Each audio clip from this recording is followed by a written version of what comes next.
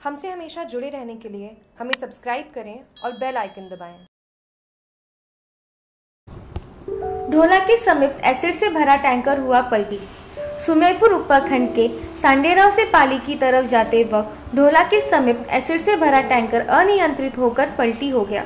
Tanker के पलटी खाने की सूचना मिलते ही सांडेराव थाना अधिकारी सीमा झाकड़ मय जप्ता मौके पर पहुँचे।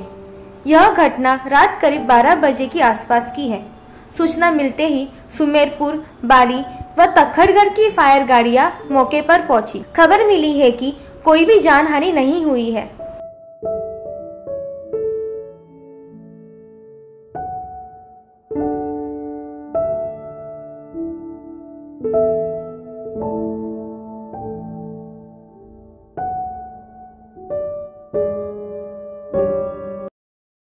सुमेरपुर से जागरूक टीवी की रिपोर्ट।